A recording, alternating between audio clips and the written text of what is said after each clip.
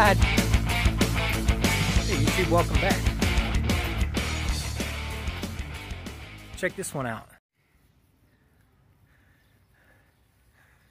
And this thing goes way up here. There we go. Right up here in between several other trees. We got some maples, some spruce.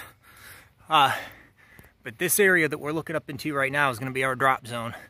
If you can see here, yes you can. This stem comes up and everything's leaning out to my left here. And we're to drop everything down here in front of the lean and bring it all right down here on the ground. Stack up all the logs here. All we're doing is chipping the brush. But I don't want to just bomb anything because we're on a slope here right next to the house. We got some understory structures. We got Bambi. So I'm gonna get some rigging set up here. We already took down one tree on the other side of the property. I got Jay working on that now. He'll get all that cleaned up. I'm gonna get the porta wrap on the tree, uh, clear some room on the bottom, work my way up, start clearing some brush, set a block, and we'll start rigging.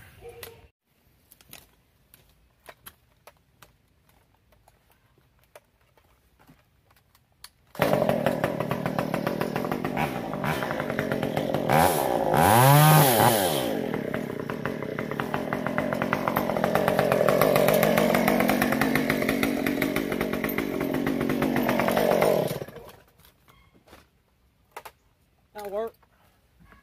So we're gonna throw a porta wrap on here, which uh, that's right here. And then I'm gonna put, because uh, we're gonna be rigging some bigger logs too. I'll put this block on there. This block's for half inch or even 5 eighths rope. But all we need today is half inch and nothing that big.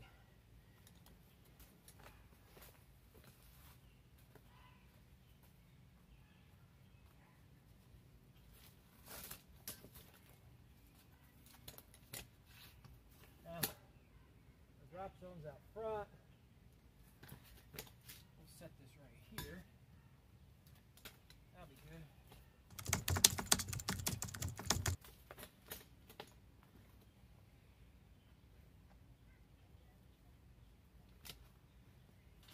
We'll tie this off with a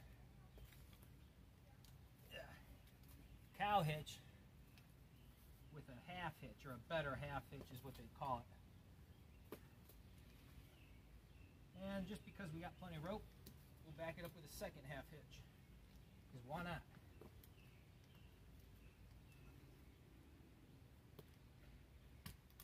Tuck the tail out of the way.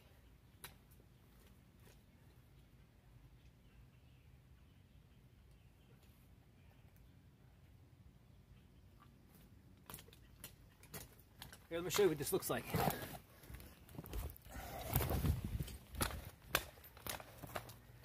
Now, for anybody that's a tree guy, you already know this, but this is just for anybody that doesn't. So this is our porta wrap. It's basically just a friction device. So as we rope material off this tree, instead of trying to muscle it all by hand, this controls that. That's the easiest way to explain it. And the other piece I'm using, we got this impact block. This will go up in the tree with me. Rope goes through here. This will go around the tree, it gets choked off. Put it through one of these holes here. Oh, sorry. Like that. That's around the tree. That hangs down below it, and you just tuck this tail out of the way somewhere. So let's go get that set up.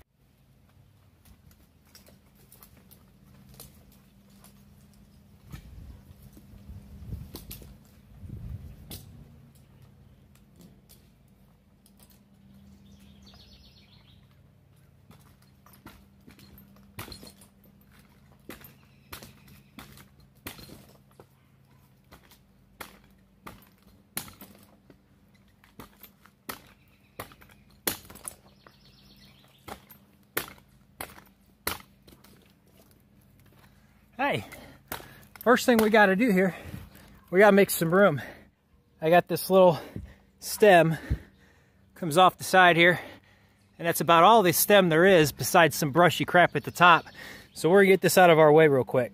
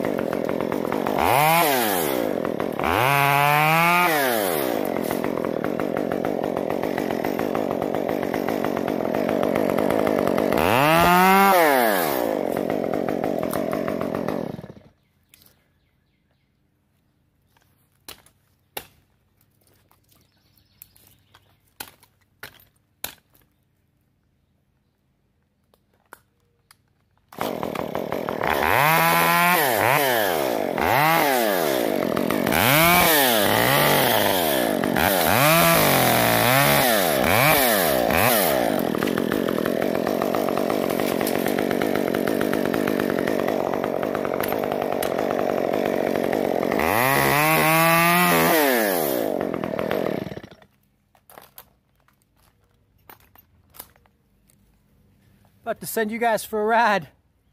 All right. Here's all I was after. Let me show you this. Oh, you guys are over here this time. What's up? Usually my camera's on the other side. That's better. All right, let me flip you around. Uh, we'll clean all this brush up so we got room to work. But that came off right here and that was cluttering up this space. So now all we got is just a little brush up top and we'll start logging these things out here, probably five, six feet long. We're gonna stack it all on the ground right here as it comes down. And that's gonna be some fun. So let's get at it. I forgot to record anything, but tops out. We're about halfway done chunking this.